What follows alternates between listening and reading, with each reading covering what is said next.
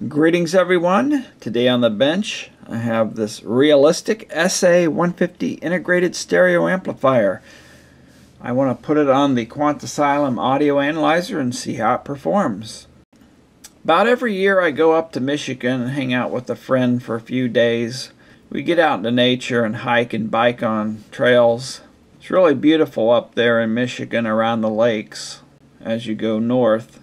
He's into audio and electronics as I am, and uh, he gave me this amplifier, so really appreciate that. And I'm going to test it out. And in a later video, I'm going to modify it. I think he said it works, but I have not powered it up yet. And sometimes when you're running tests and things, you find little issues that need to be fixed. So we'll uh, check all that out and get it on the analyzer. So this particular model was available from mid 80s to mid 90s, I think. After that, they came out with the SA155, which is pretty much the same amplifier, but they modernized it and it had a black front. But Radio Shack always carried a budget integrated amplifier like these over several years because they're really popular with the customers because many people don't want to spend a lot of money on a stereo system. They just want something for background music. They can add a tuner or a record changer, tape deck, small pair of speakers. Now these things are pretty light on power. I think this is rated 1.8 watts per channel. And you get basic functions. Over here we have a bank of switches for power, speakers, stereo mono switch, uh, we get a tone control balance, of course the input selector and volume, and the quarter inch jack for headphones. So if we take a look on the inside of this unit, it's pretty basic here. Here is the amplifier section. And if I turn it over, you can see it's based on an integrated circuit chip. The LA4440 What's interesting, Radio Shack rates this thing only to handle 8 ohm loads, and there's probably a couple reasons for that. But that chip actually uh, can handle down to 2 ohm load stereo because it can be bridged to handle 4 ohm loads, probably meant for car stereo use. In fact, I'm pretty sure it is because it has a high voltage surge rating and the way it can be bridged handle about 20 watts into 4 ohms. But I think due to the uh, small transformer they're using here and the heat sinking, that it's connected to the um, steel chassis here. Steel's not a very good conductor of heat, so it limits how much heat you can get out of the chip, so perhaps that's the reason. And uh, what caught my eye is, you know, this is the power supply filter capacitor. It's only rated 1000 microfarads. So in a future video, probably the next video after this one, I'm going to modify this thing and uh, test it again. I'm going to change some parts out and see if we can uh, uh, make it a little more capable. Make it handle 4 ohm loads as well. Um, increase the thermal dissipation here and see if we can make it perform a little better. So yeah, there's not much to it. That's just the support components for the chip right here. Over here we have a phono preamp section with the RIAA equalization. So this is the uh, basic job there with uh, four transistors, two per channel. Be interesting to see how that performs. So looking at the back of the unit, this allows you to switch between a ceramic or magnetic cartridge on your phono input. You have your tape, tuner, tape out, and they're using RCA connectors for the speakers which is common on lower uh, priced stereo equipment back in the day. Okay, so the next thing is to see if this thing's going to work or not.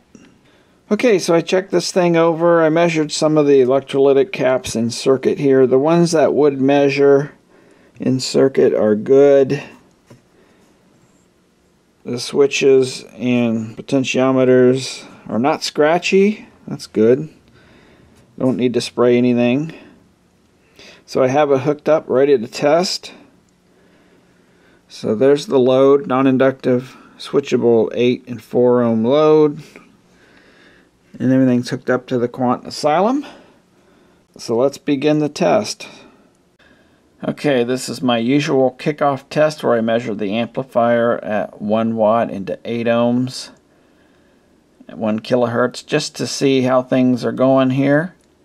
And you see the distortion is pretty good. It's under 0.1, which I like to see. The gain of the amplifier is 27.76. That's measured with the volume control fully open. I do see a lot of electrical noise getting in here. Let's see if I can put a marker on that.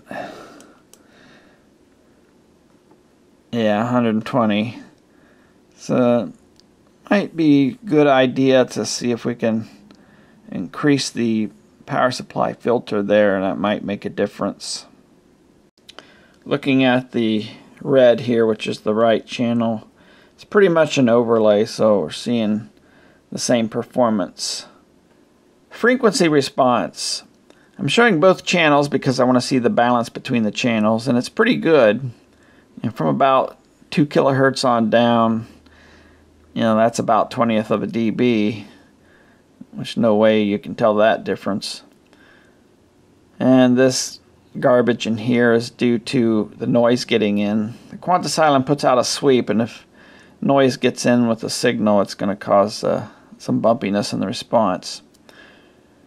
But at the 20 hertz line, uh, we're below minus 5 dB, so yeah, we lose quite a bit. We're 3 dB down around 27 hertz.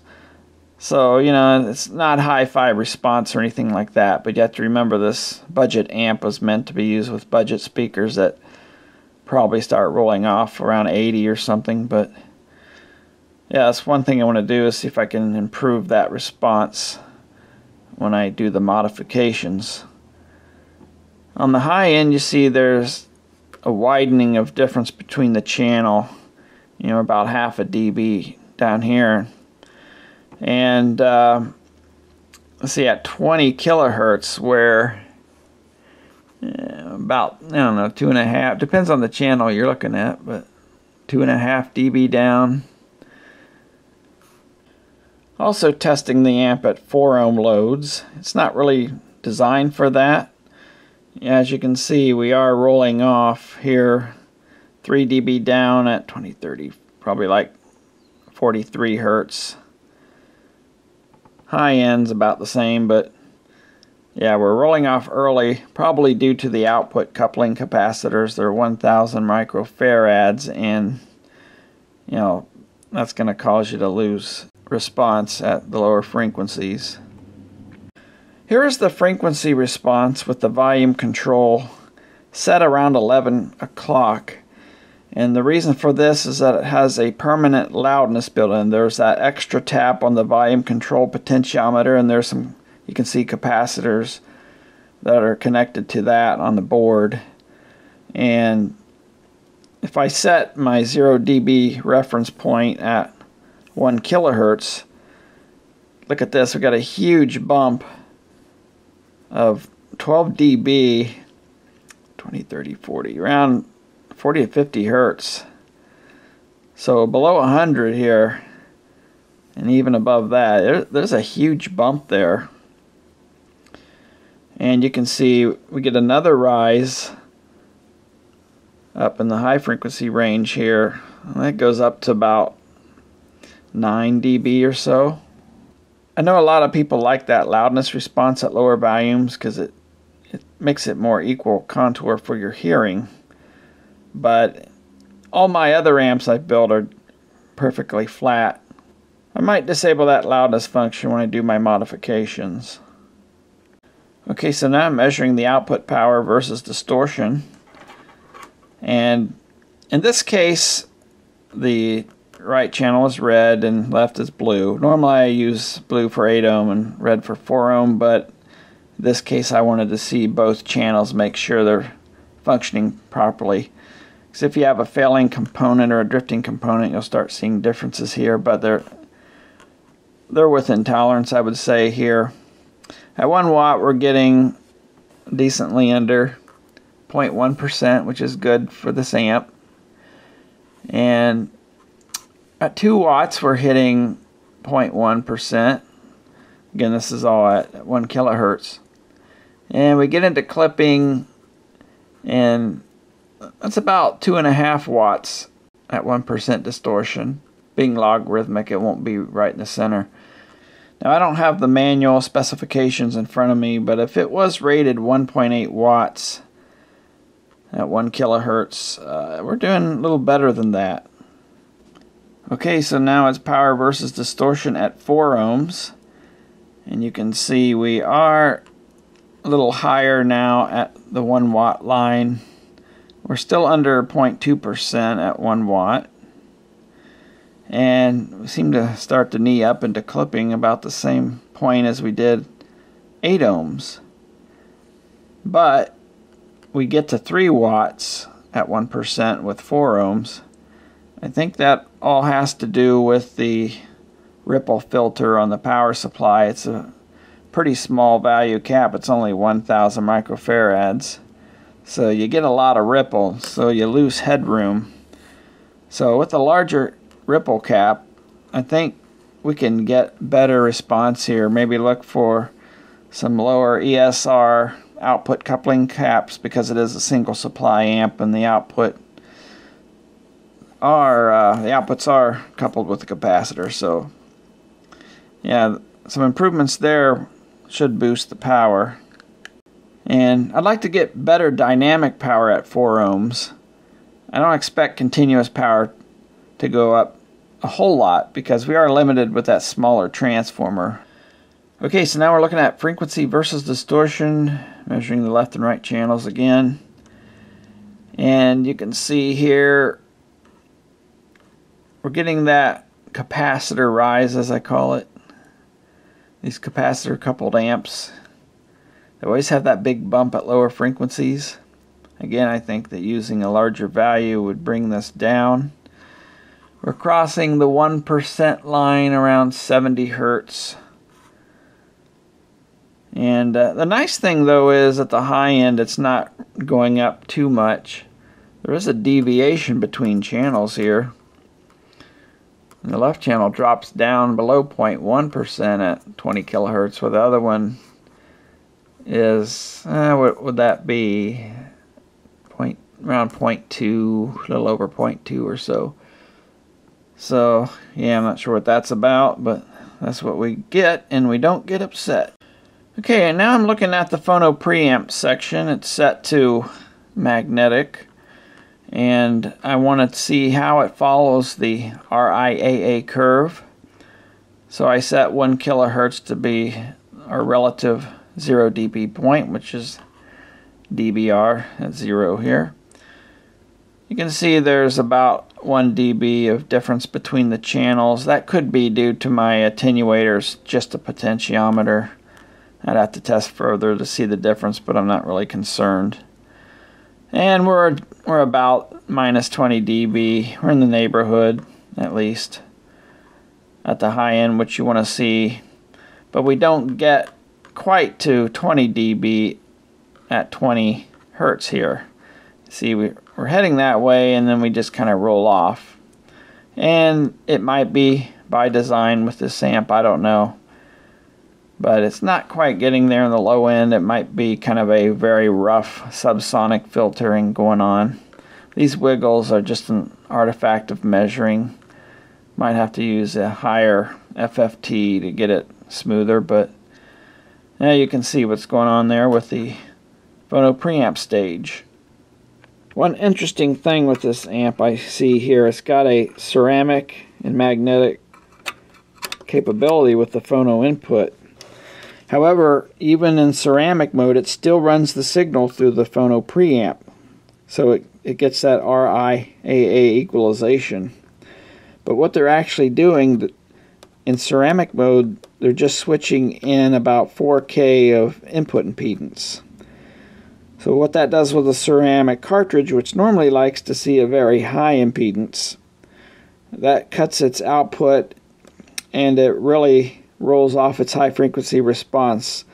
So the phono preamp just brings it back up and reverses that response. Uh, you know, I no way I can really test that. I doubt it's perfectly flat, but that just makes it easy for them to design a uh, ceramic compatible phono stage here. So there you go, the Realistic SA integrated stereo amplifier. So in an upcoming video, I want to mod this thing. I'm going to see if I can get a little better performance out of it. I'm debating whether I should get rid of the uh, loudness contour for this volume control. How that works at lower volume settings, it adds more of that big bump to the bass and the high frequencies. And as you turn it up, that goes away. And kind of dependent on your input signal as well. If you have a louder input signal and the amp's playing louder, you'll also have that big bump where you really don't want it. I'm more of an audio purist. I would rather not have it there. So I'm thinking I might delete that. My friend said he doesn't really like the sound of this amp. And it's probably because of that loudness contour because you know the rest of the amp seems pretty decent for what it is. I mean it may not be hi-fi spec or anything, but you know really the biggest thing I see is that huge loudness contour with the volume, which might make the bass a little more muddy depending on your uh, your speakers and your signal levels going into it. But yeah, I will wrap it up here, and I will thank you for watching.